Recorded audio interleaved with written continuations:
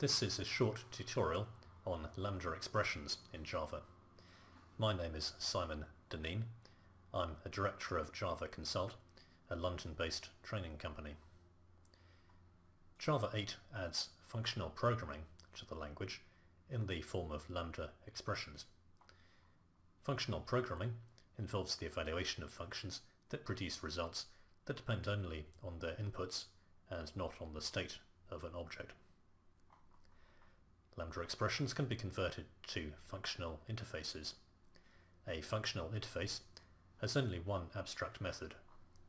For example, the predicate interface has an abstract method named test that takes a generic argument and returns a boolean. Prior to Java 8, this could be implemented as an anonymous inner class.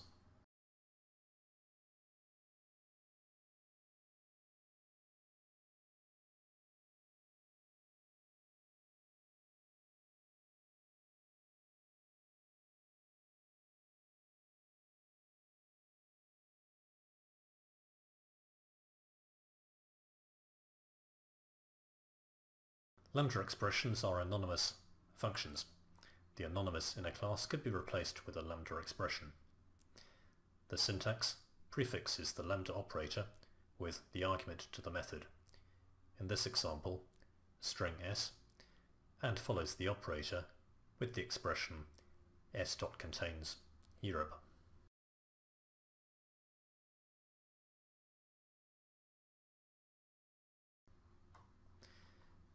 If the parameter type of a lambda expression can be inferred, then it can be omitted.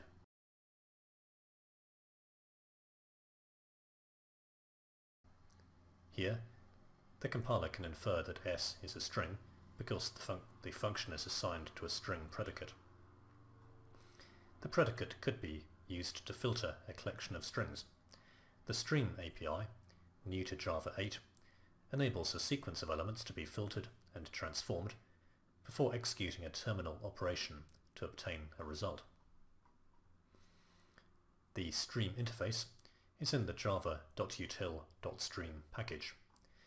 Its methods include filter, which takes a predicate argument and returns a filtered stream, and count, which returns the number of elements in the stream.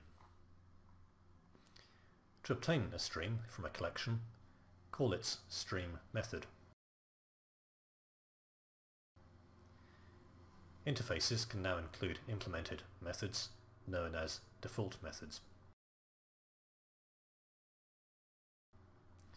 This is the collection interface and clicking on the stream method this is how it's written with the default keyword.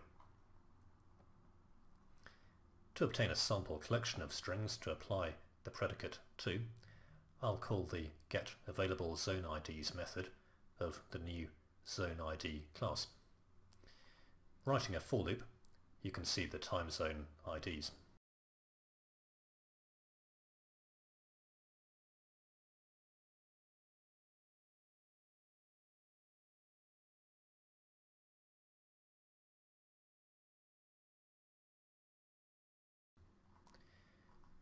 Joining these methods, you can get the number of strings that match the predicate.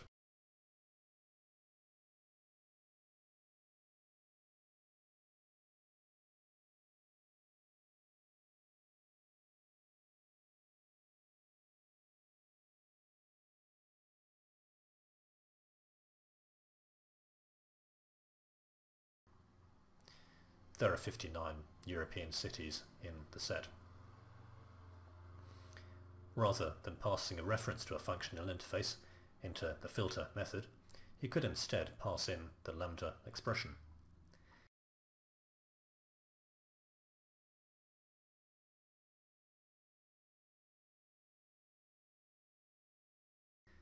The count method is called a reduction. It reduces the stream to a value. Reductions are terminal operations.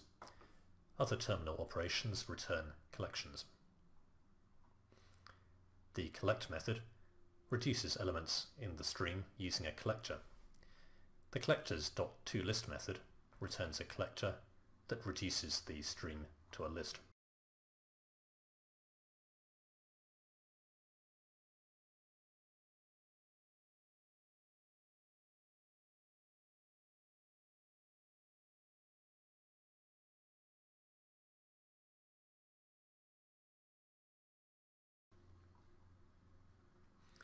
Stream transformations can be chained together.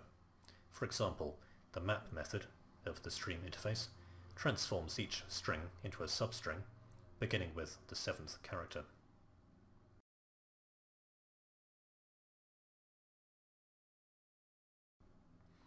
The sorted method returns an ordered stream as defined by the comparable interface. Strings will be in alphabetical order.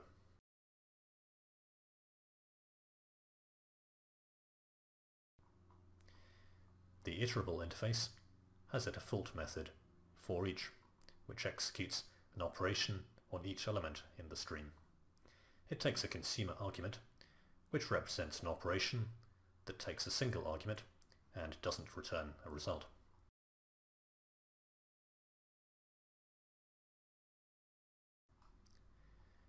Instead of collecting the, the results into a list, the terminal operation could be for each.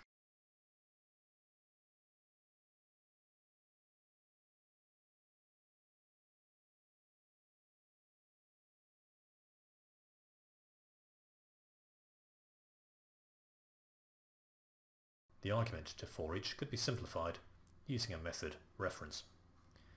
To execute the println method of the system out object for each element in the stream, the syntax is system.out colon colon println.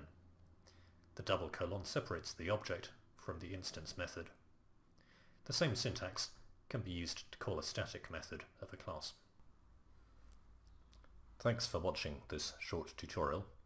We run public courses in London too.